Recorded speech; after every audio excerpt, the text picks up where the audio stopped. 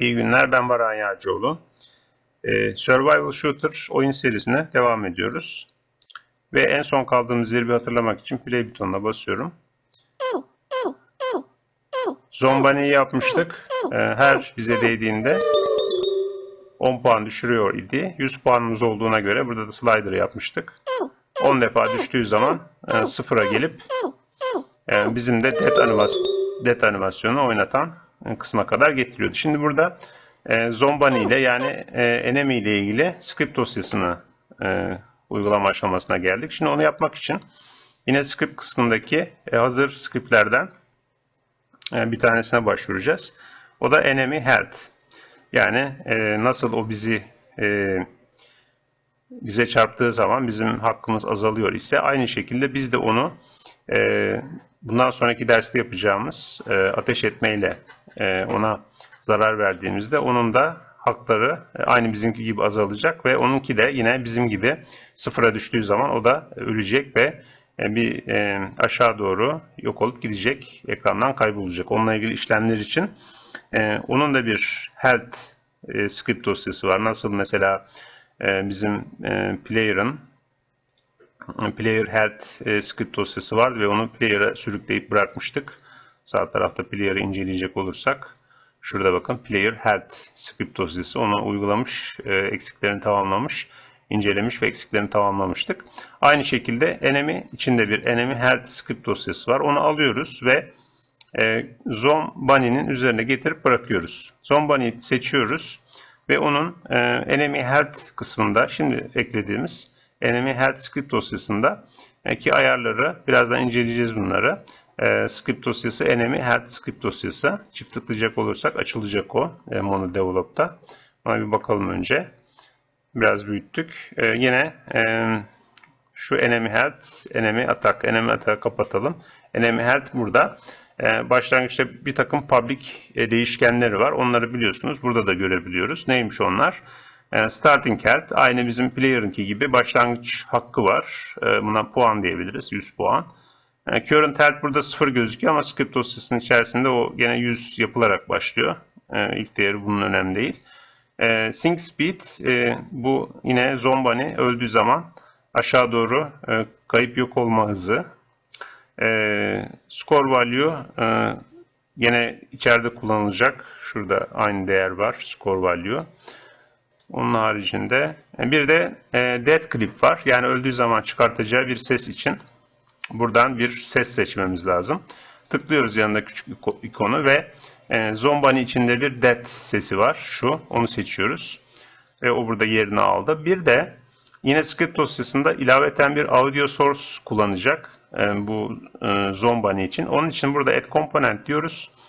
Audio kısmından e, yeni bir audio source istiyoruz. Ve bunu da e, nasıl o bizi e, bize gelip dokunduğu zaman o e, hurt incitme sesi varsa player'da aynı şey onun içinde var. Onun tabii kendine has bir sesi var. Onu da seçiyoruz. E, Zombani hurt en alttaki. Onu da seçtik. O da buraya yerleşti. Yani bu play on awake olmasın. Yani e, çalıştırırsam çalışır mı? diye bastık. Bu duyduğumuz ses Zombani'nin e, play e, şey sesi, hurt sesi ama onu oyun ilk başladığında duymamıza gerek yok. O sadece biz ona ateş ettiğimiz zaman çıkacak olan bir ses. Onun için play on awake'i burada da benim e, şey yaptım, devre dışı bıraktım. Şimdi artık script dosyasını e, inceleyelim çünkü orada bir takım e, yapacağımız işlemler var. Tekrar açtım. E, bu enemy health e, script dosyası. Bunu biraz inceleyeceğiz. E, çok uzun değil.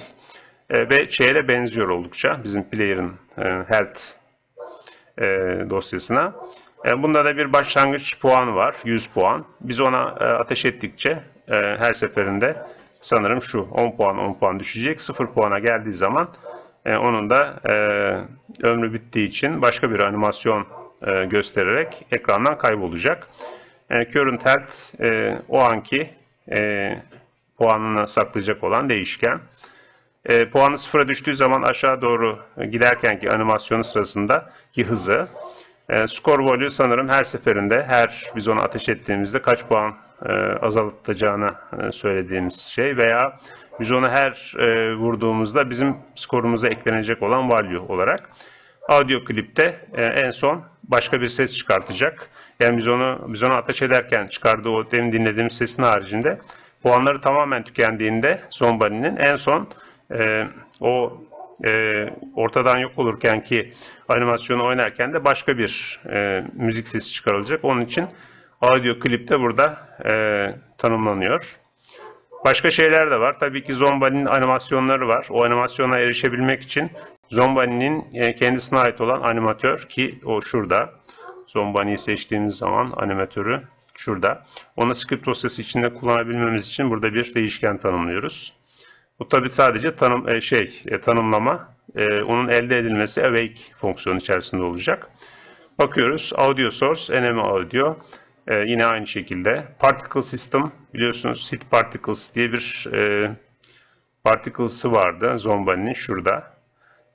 Eğer sahneyi açacak olursak biraz şöyle uzaktan bakalım. Pause, simulate dersek şu ileri doğru fırlayan beyaz e, şeyler artık neyse onlar.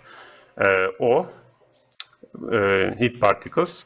Kapsül kolaydır. E, bizim e, Zombani'nin şu etrafındaki, e, en dıştaki değil yalnız, şu içteki kapsül kolaydır. O da lazım olacak burada. Sonra e, that öyle olup olmadığını sakladığımız e, flag bool değişkeni ve e, aşağı doğru puanlar sıfıra düştüğü zaman sistemden yok olurken aşağı doğru yok olurken e, ki e, zaman içerisinde e, bu değerde is syncing değeri de true yapılıyor. O da update'te sanırım gerekli olacak. awake fonksiyonunda yukarıda tanımladığımız değişkenlerin atamaları var. animatör get component yöntemiyle elde ediliyor. aynı şekilde audio source yani şu en son eklediğimiz audio source şu en alttaki o elde ediliyor. Kullanacağız çünkü bunu script dosyasının içerisinde. Hit particles aynı şekilde. Ama bunun şeyi değişik. Get component in children. Yani biliyorsunuz şurada Zombani'nin altında children kısmı var. Zombani, hit particles. Onlardan bir tanesi bu. O yüzden get component in children komutunu kullanıyoruz ve türünü belirtmek için de particle system e, sistem diyoruz burada. Kapsül kolaydır. Gene aynı şekilde get component yöntemiyle. E, current health'te o anki e, mevcut hak, hak sayısı da puanı da tabii ki başlangıç olarak starting health yani eğer en yukarıya bakacak olursak 100'den başlayacak. Update fonksiyonunda e, yani her e, oyun oynarken her tekrarlanan karede sadece e, is syncing denetleniyor. Yani diyelim ki biz onu şey yaptık 10 kere e, vurduk ve puanları bitti e, bu Zombani'nin o an e, bir aşağı doğru e, düşen bir animasyon göstermeye başlayacak o. O anda da is syncing e, bayrağı, fleki true değerine ulaştığı için bu burada yapması gereken işlem işte transform.translate e, ve eksi yönde yani aşağı doğru ve bizim sync speed hızıyla orta, ortamdan kaybolup gidecek. Bir de her zaman kullandığımız time nokta delta time katsayısını bu işin içine katıyoruz. Çünkü hız ayarlarken bilgisayardan bilgisayara farklı olmaması için bu sayı e, standartizasyonu sağlıyor. Sonra take damage diye bir fonksiyon var. Public fonksiyon. Bu ne zaman çalışacak? Biz e, zombani'yi vurduğumuz zaman. E, biz zombani'yi vurduğumuz zaman e, bu fonksiyon çalıştırılacak. Onu bir sonraki derste o ışın, lazer ışını yaptığımız zaman e, kullanacağız aslında bu fonksiyonu. Ama ben bu derste sırf bunu görmek için e, bunu daha kolay bir şekilde çalıştırmanın geçici bir yöntemini yapacağım. Zomba'nın üzerine şöyle gelip tıkladığımız zaman mouse'un butonuyla e, bu fonksiyonun çalışmasını sağlayacağız. E, bu derste ışını yapmayacağız ama sanki ona ateş etmiş gibi e, şu zombanın üzerine mouse'la tıkladığımız zaman e, bu e, script dosyasının ne iş yaptığını da görmüş olacağız. Tabii ki e, bu şey çalışırken, e, tek demiş çalışırken, e, çalıştırılırken birkaç parametre, iki parametre ile çalıştırıyoruz. Bir tanesi amount, e, ne kadar, e, kaç puan düşürülecekse e, onu burada giriyoruz. Esnek olması için böyle yapılmış. 10 puan olacak bu. Bir de tam olarak hangi noktası, yani Zombani'nin hangi noktasından vurduk e, ise o e, noktayı da burada giriyoruz. Çünkü o particles çıkartacağız. Zombanın üstünden e, hangi yöne doğru veya hangi tarafından e, çıkartılması e, gerektiğini belirtmek için e, bu da kullanılacak. E, burada yapılan işlemler şunlar. Eğer e, zaten is dead olduysa, öldüyse zombani bu fonksiyonun artık bir şeysi yok. E, işlevi yok zaten ölü. E, take damage almaz. E, yine take damage olduğu zaman yani biz onu ateş edip onu vurduğumuz zaman e, onun bir sesi var biliyorsunuz. E, hurt, incinme sesi. Şuradaki. En son yaptığımız şu. Hurt sesi. Onun duyulması lazım. Sonra e, yine biz onu vurduğumuz zaman, her vurduğumuzda Zombani'nin yani düşmanın e, puanı e, yukarıda parametre olarak verilmiş amount kadar azaltılması lazım. Yani 190-80 diye gidecek. Ayrıca hit particles tanımlamıştık. Onun e, gözükmesi için önce o hit particles'ın tam pozisyonunu veriyoruz. Hit point e, noktası yani şu yine bu take damage e, fonksiyonu çağrılırken parametre olarak verilen hit point noktası neresiyse yani zombaninin önü mü arkası mı sağ mı solu neresiyse tam o noktaya taşıyoruz hit particles'ı. Taşıdıktan hemen sonra da e, oynatıyoruz, çalıştırıyoruz. Aynı şurada oynattığımız gibi. Şurada seçtik mesela pause, simulate dediğimiz zaman aynı buradaki play gibi e, orada da e, script dosyasında burada it particles tam o anda bir kere çalıştırılmış oluyor. Ayrıca bir kontrol var gene. Eğer e, Zombani'nin puanları yüzden düştü düştü sıfıra kadar geldiyse o zaman artık e, ölmüş demektir. Dead fonksiyonunu çalıştırmamız lazım. E, yapılacakları hepsini buraya yazar, yazsaydı burası kalabalık olacaktı. Onun için onu dead isimli bir fonksiyon içerisine yazmış ve buradan onu çağırmış sadece. Bakalım o dead'te neler var. E, dead'te e, is that flag bayrak ne dersek e, bool değişkeni onu true yapıyoruz. Çünkü artık e, Zombani öldü bu e, obje için. E, kapsül collider'ını e, trigger haline getiriyoruz. Yani şu e, Zombani'nin e, içerisindeki şu kapsül collider biliyorsunuz is trigger değil.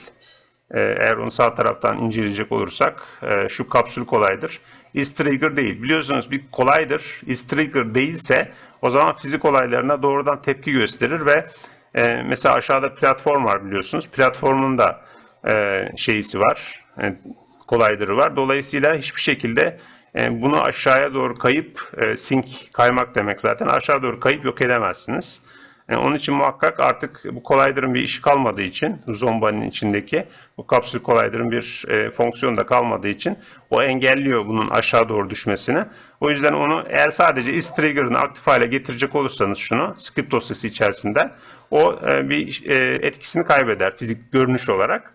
Burada onu true yapıyoruz ki e, aşağı doğru kayabilsin.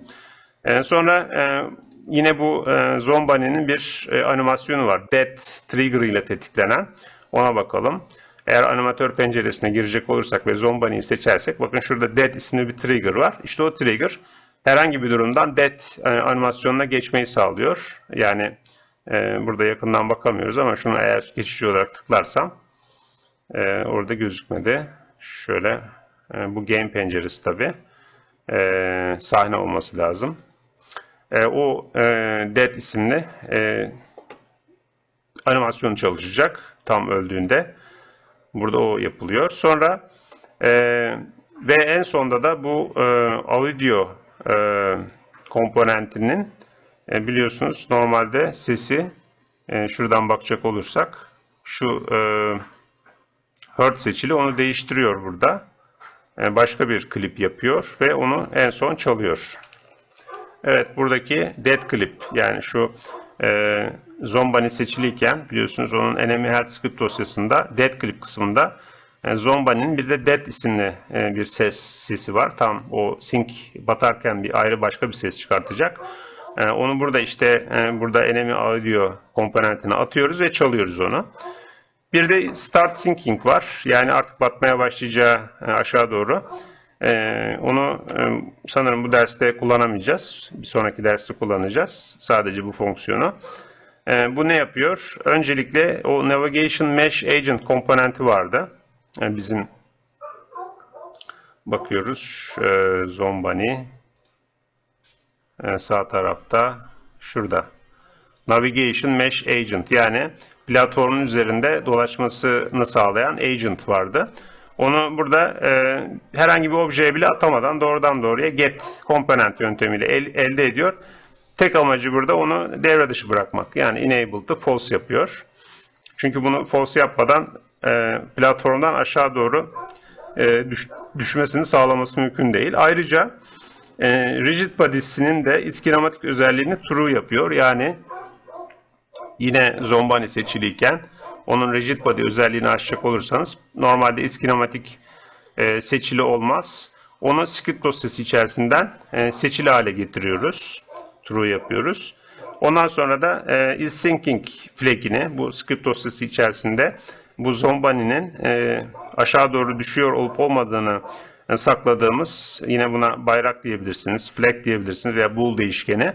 E, bu e, true yapılıyor ki e, diğer kısımlarda, kodların diğer kısımlarında e, bilinsin. E, o anda şey oldu ve en sonunda bir destroy yapıyoruz. Çünkü bu aşağı doğru 2 saniye kadar bir süreyle düşecek.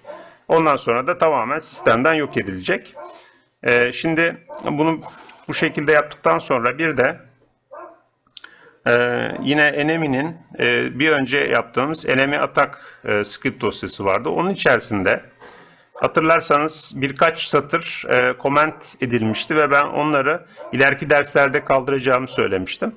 Mesela bir tanesi şu Enemy Health e, isimli e, satır. Bu e, daha önce Enemy Health henüz oluşturulmadığı için biliyorsunuz Enemy Health bir script dosyası şu şekilde. Enemy Health script dosyasını bu derste hazırladık. Yani şu biraz önce incelemiş olduğumuz. İşte Enemy Attack script dosyasında Enemy Health script dosyasına erişebilmek için burada onun cinsinden bir değişken tanımlıyoruz ve onu awake fonksiyonunun başında atamasını yapıyoruz. Yani e, Enemy Health script dosyası eşittir get component Enemy Health script dosyası. Bu kadar basit. Onu aşağıda kullandığımız bir yer var. Oraya bakacağız. Şurası. Ee, enemy attack fonksiyonunun update e, enemy attack script dosyasının update fonksiyonunda bir kontrol yapmıştık hatırlarsanız.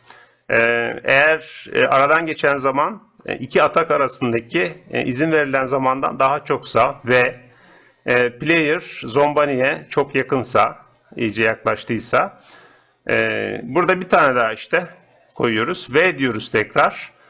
E, eneminin yani e, zombani'nin, düşmanın e, puanı da sıfırdan bir hala büyükse. E, çünkü e, biz o, onu diyelim 10 defa vurduk. E, onun puanı sıfıra düştü. Onu 11. kez vurduğumuzda artık bu e, atak fonksiyonu çalışmasına gerek yok. E, çünkü zaten onun işini bitirmişiz. E, o yüzden burada o denetimi de ilave etmiş oluyoruz. Ctrl S ile bunu da kaydettik. Tekrar döndük. Şimdi bir hatamız yoksa e, Muhtemelen bir iki yerde olabilir ama bir deneyelim. Şöyle birazcık açıyoruz. Ee, daha büyük bir alanda görelim. Play butonuna basıyorum. Şimdi e, o bizi 10 defa e, haklarsa bakın bitti sıfıra düştü ve biz öldük. Ona bir şey olmadı.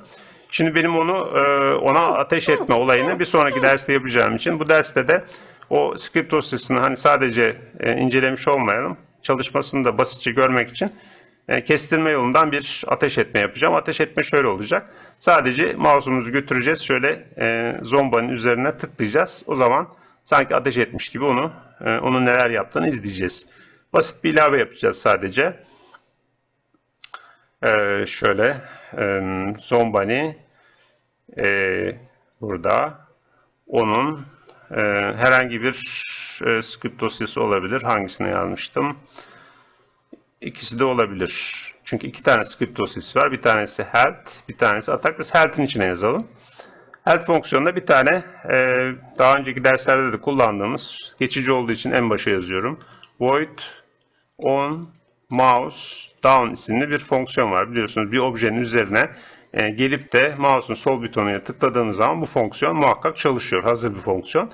İşte buraya e, yazacağımız komutla şu e, take damage e, fonksiyonunu çalıştıracağız. Neyle çalıştıracağız? Amount yani e, 10 puan ve e, point olarak da tam olarak e, zombaninin bulunduğu noktayı vereceğiz. Böylelikle sanki ateş etmiş gibi olacak. Şuraya yazıyoruz. Take damage yani zombaniye e, zarar verdiren fonksiyonu burada 10 puan ve e, şu anda biz Zomba'nın Zomba'nın içinde olduğumuz için de tam onun bulunduğu fo- e, pozisyonda transform.position olarak yazıyoruz. Şimdi bunu yaptığımız için e, daha sonradan ben bunu şey yapacağım. E, burada bir problem yok. Convert diyoruz. E, daha sonradan bunu sileceğim ben. Onun yerine normal lazerle ateş etme yapacağız. Ama bu denemek için Ctrl S ile kaydediyorum. Tekrar play butonuna basıyorum. Şu gizmoları görmeye gerek yok. Ben onu 10 defa e, bu şekilde e, ateş etmiş oldum artık. Bir daha çalıştıralım. Bu arada ben kaçırayım kendime. Şöyle çalışsın. Bakın ben onu 1, 1, 2, 3, 4, 5, 6, 7, 8, 9, 10. 10 defa yapınca aşağı doğru düştü. Aşağı doğru düşmesine de bir bakalım. Sol taraftan sahneyi açalım. Ee, altını şöyle görebileceğiz. Uzaktan bakalım biraz. Sırf aşağı düştüğünü göstermek için. Bakın şurada aşağı düşüyor. 2 saniye sonra da tamamen sistemden kayboluyor. Bu şeyde de yok. Ee, burada da yok.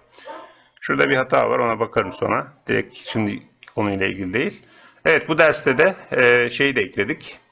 E, biz onu vurduğumuzda onun puanlarının azalması ve sıfıra düştüğü zaman e, kendi death animasyonunu gösterip e, sistemden aşağı doğru kayarak e, kaybolup gitmesini yaptık.